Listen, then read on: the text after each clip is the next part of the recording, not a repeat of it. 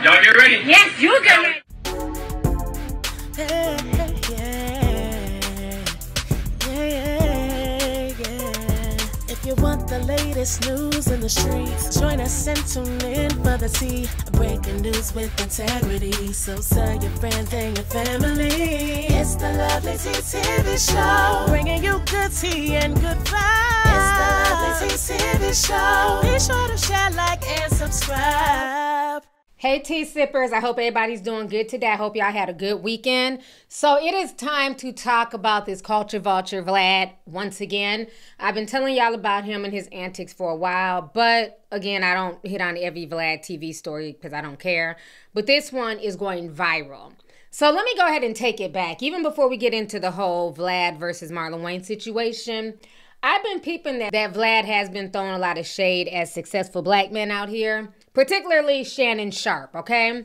We all know that Shannon Sharpe did one of the best interviews ever, which was the Shannon Sharpe Katt Williams interview. You couldn't go anywhere without folks talking about it. Hell, I literally watched that full interview minimum three times, maybe four, but I know it was a minimum of three times. I watched that full interview because I just could not believe, you know, just everything that Katt Williams was hitting on.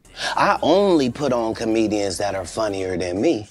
Anybody that ever told you differently was a fat Faison liar. We all know that that interview went crazy viral. And then on top of that, Shannon Sharpe chopped it up into little parts, okay? So, as somebody who is a content creator, I know for a fact that Mr. Shannon Sharpe, honey, he definitely got one of the biggest YouTube bags off of that interview, okay? So a lot of people have been trying to guess like how much he made. Me personally, I don't count people's pockets. Whatever God blesses you with, amen. And thank you, Lord Jesus. That is your blessing, okay? But Vlad, you know, kept trying to make it a point saying that Shannon Sharpe was over exaggerating. There's no way that he made $6 million. He says for all of those videos, including the cut up ones, that Shannon Sharpe is lucky if he made 500,000. So let me go ahead and play this clip for y'all really quick. Check this out. This was him on the Marcellus Wiley show. Illy sick. People always accuse me of hating because, Do you? well, I did a couple of Real? interviews because Shannon Sharpe put it out there where he basically claimed that he made like $6 million off that one interview. And I said, as someone who's been on YouTube longer than everybody, those numbers aren't adding up. Okay, what you think? What you think it really was? Off of YouTube alone, maybe about half a million. Half About half. for sixty some million views. Yeah, What about all the cut ups? about half a million dollars. I swear, that's a lot of money. All right, I'm betting north for that because I know Maybe a million. Listen, I do around 50 million views a month on my channel. you do fifty million. Yes. What's your CPM though? Pretty good. You see, you don't want to do. Pretty see, good. this is different. No, no, no. Say I'm the not damn gonna- number so we gonna- can get no, there. No, but I know how much I make every month. And yes, I know it's a full interview. There's multiple ads, but we, there's a lot of full interviews every month. So I know it's it's nowhere Vlad, near that amount. come with the number so I could just make this? nowhere I near think that it's amount. north. If we on prices right, I'm okay, betting. so if it's a million, that's not six million. One thing I don't like about Shannon, me and him have actually, because he agreed to do my show back in the day, and then I got the runner. Oh, talk to my PR person, whatever else. That's cool. You don't have to do Vlad TV. But the one thing that I don't like about Shannon is that he has all these people coming to his show, but he doesn't do anybody else's shows. Oh. is that real? Have you ever seen him get interviewed by someone else? But that kind of rubs me the wrong way because it should be a system where we're all helping each other out. I've always said this, and you could see it in my actions. If you come to Vlad TV and you have your own podcast, I will do your show. hmm I get it. Akademiks, Charlemagne, Math Hoffa, even if it's not a big show, if you came and did my show, I will do your show. Good. You're doing my show because it's not a big show. Yeah, Let let's do it. 100%. No. 100%. Even but if you're it's not- doing what you did before, which is obligating somebody to be as nice as you, Vlad, be as good as you, Vlad, and maybe that's your blind spot because that's a beautiful thing. And I, me and you in the same spot. That's cool. But just like like like what happened with Stephen A. All of a sudden, I need a clearance, and I Shannon is killing it right now. Maybe he'll need something from you. Ah. All right, so you guys just heard that clip. And in my personal opinion, I feel like Shannon Sharpe made well over a million dollars. I don't know if it's exactly six million, but I feel like in my heart of hearts, oh, that man walked away with a huge bag. One million plus minimum, okay? But one of the things I found funny is that Vlad was saying that what he doesn't like about Shannon is not only does Shannon ghost him and not go on his show, but he says that Shannon doesn't go on other people's show. You know, Shannon only promotes his podcast. He doesn't like to, you know, collaborate with other people. Now, this is very interesting, right?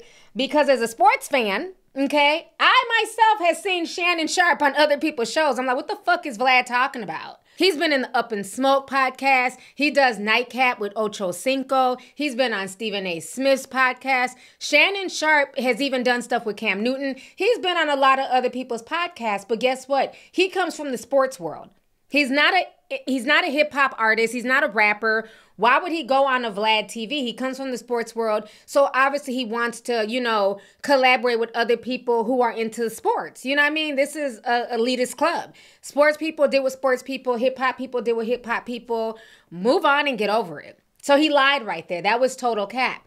What I find funny is that for years, Vlad didn't really do interviews with people who had smaller platforms or people that he deemed beneath him. Let's keep that real. He really didn't start collaborating with other content and YouTube creators until his views started dying. And people started getting smart and were like, well, you know, my videos on your platform are going viral. You're making all this money off of me. I need a check. See, now people are getting smart. Now people want to check for these interviews. But back then, people didn't want to check. So when he was the king of YouTube and the king of interviews, he wasn't trying to slum with the so called peasants, okay? He wasn't trying to do collaborations with, you know, with smaller content creators or people who had, you know, under a million subscribers. He wasn't doing Math Hoffa and stuff like that. He only really started doing that once his platform was being affected. He wanted to get his, you know, himself out there more. Back in the day, he didn't even come on camera. Now he's on Piers Morgan. Now he's on the hat map. Now he's on Math Hoffa. Now he's with DJ Akademiks and on other people's stuff. He only started doing that in recent years. Okay. Um, even back in the day, Charlemagne the God would go on Vlad TV, but Charlemagne didn't really have a platform outside of the Breakfast Club. But Vlad kind of kept to himself, okay? Um, just like with Adam 22, he wasn't doing a whole lot of cross collaborating until as of late. Once all them black dudes left and his views tanked, now you see these cross collaborations. You see him going on Vlad TV and stuff like that. So it's like a lot of hate and salt has been coming from Vlad ever since these views have been tanking. So now let's talk about what went down with him and Marlon Wayans. So what happened is that a week ago, Vlad released a part of an interview that he did with comedian Aries Spears.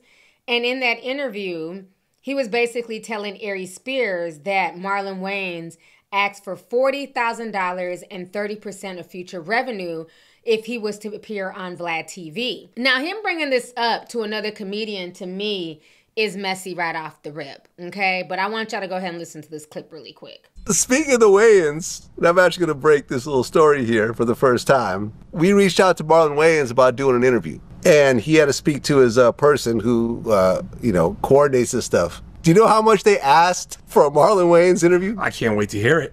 Forty thousand plus thirty percent of all future revenue. This is the part where I'm gonna show a lot of growth because once upon a time ago, I would have just like a chainsaw went and let my mouth run, and it probably puts me in positions that I shouldn't or don't want to be in. So I'm gonna take this moment to grow as a human being and back out of this. All right, so y'all just heard the clip. So, like I said, him bringing that up to Aries Spears is messy, and it's almost like you're trying to get this black man to throw daggers at another black man, but Aries kind of, you know, clocked the T and was like, you know what, I'm not even going to really say too much. It is what it is. So once that went viral on social media, somebody had uh, added Marlon Wayans on Twitter, and they said the following. Marlon Wayans, you a good one, cause at Vlad TV would have to pay me five hundred thousand for an interview with fifty five percent of all revenue made from the video on all platforms. Okay, so Marlon responded back and said, "See, I tried to tell him I was giving him a deal. Oh well." So once Vlad caught wind of that, Vlad was not happy. He was definitely in his feelings. So he responded back to um, Marlon and he says this. Marlon Wayans found somebody with 200 followers to agree with him. LOL. Nobody on earth is going to pay Marlon Wayans 40K for an interview when he only gets 100 to 300K views on any platform he interviews on. This guy is really delusional. So then he took screenshots of him on uh, Jimmy Kimmel, The Breakfast Club, and on somebody else's child. I don't know who, somebody else's platform. And he showed the views. Then Marlon replied back to Vlad and he said the following You mad? You unprofessional, my guy. If you don't like the number, keep it moving. You look bad. You should fall back. Mad at a black man for stating his number. Now you go public and use your platform to try and drag me. I never in my life dealt with such silly negotiation tactics. And then Vlad replies back. He says, Not mad at all. I find this amusing because you really think you're worth 40K for an interview. I said, There's nobody on earth that will pay you that and I have yet to be proven wrong. Throwing out a stupid ass number for an interview is unprofessional, my guy. Marlon says, You've been teetering on disrespect, and I've been a gentleman up until this point. This was tactless, unprofessional, and petty. You out here trying to tear down a king, you trying to instigate beef within my community and peers, and it won't happen, fella. I'm loved. Then someone says, At Vlad is acting like views matter more than the legacy of at Marlon Wayans and the Wayans family. Put some respect on the Wayans family. They are deep. Then Marlon Wayans posted a video from YouTube and he says, At Vlad, you are way too hated by the urban community to fuck with me. I'm loved, you ain't. Watch the video. Where's your face? How much the government paying you, Brody? Hope it's hope it's at least 40k. And the video is called Why Black Celebrities Will Never Respect Vlad TV. So then Marlon Wayans says, Yo, at Vlad TV, your beard is made from Ice Spice's ass hair. Then Vlad responds and he says, Marlon Wayans, I'm sorry you don't find me attractive. Fortunately for both of us, I'm heterosexual. Between your recent gay photo shoot and your claim to fame dressing up as a woman, this would be this would be a perfect time to fully come out of the closet. Coming out as gay in 2024 will surely revive your declining acting career. Since I turned down your 40K for an interview, I'm pretty sure you can get that amount for your first gay porn scene. Marlon Gaines would be an awesome porn name, by the way. So Marlon responds back and he says, Is any of that funny though? So now you exploit blacks and punch down gays? Tis tis. You want to be hated by everyone I see. Vlad, nobody wants you. Your own dick won't let you touch it and it me tooed you. Then Marlon Wayans posts an old picture of Vlad and says, Hey Vlad, how you go from this to this? Turkey, meaning Vlad got that infamous hookup hairline from Turkey. Then he also posted this and says this is Vlad after his next hair transplant surgery. Then he posted another video where it says, Why doesn't hip hop respect Vlad TV? And Marlon says, This is why we don't fuck with you, Vlad. You're lame. I ain't the first, but thus may be your last.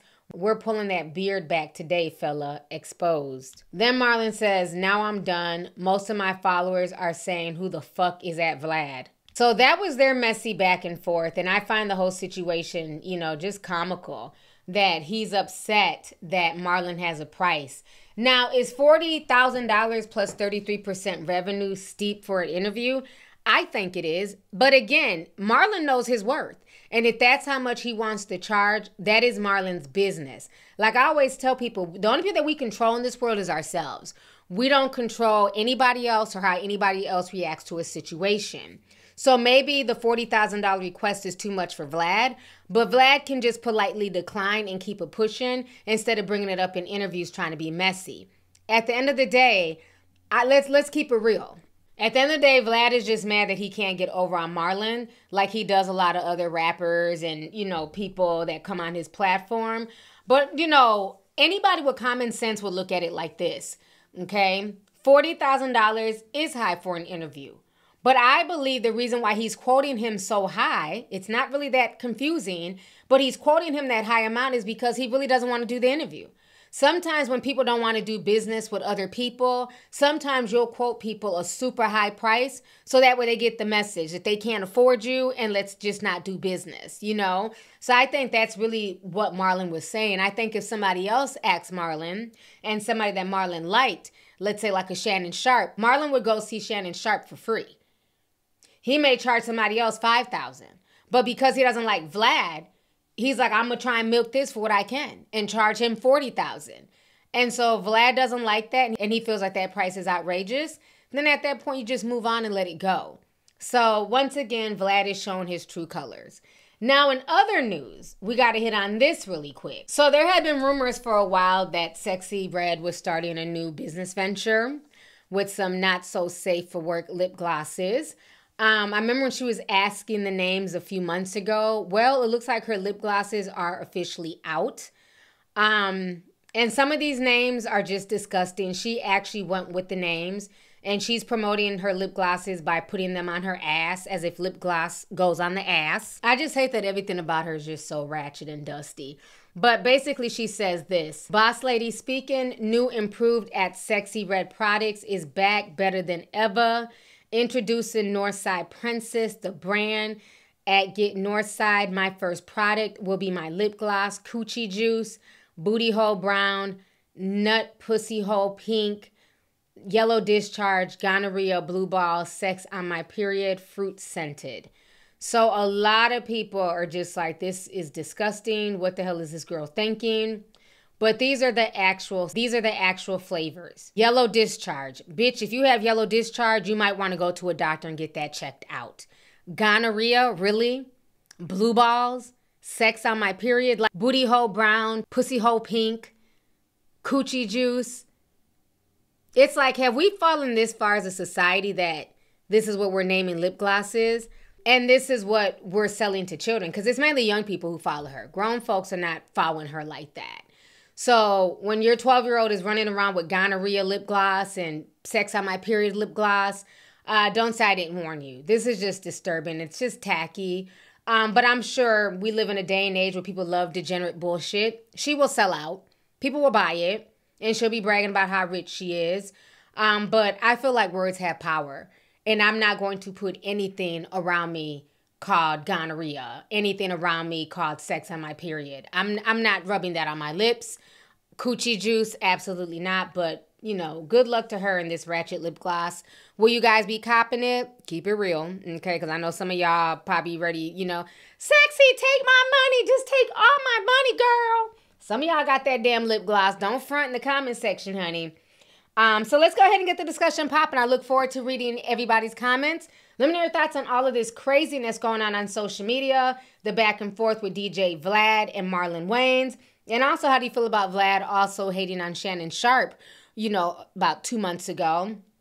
And do you feel like, you know, he's right to feel away about what Marlon is charging? Or do you feel like, you know what, the price is the price? If that's what Marlon wants to charge, that is his business. Last but not least, let me know what you guys think about Sexyy Red's new lip glosses. Will you be copping them? Will you not be copying them? And how do you feel about these names that she named her lip gloss? Go ahead, leave a comment down below. Don't forget to like the video. Feel free to share the video, and I'll talk to y'all later. Deuces.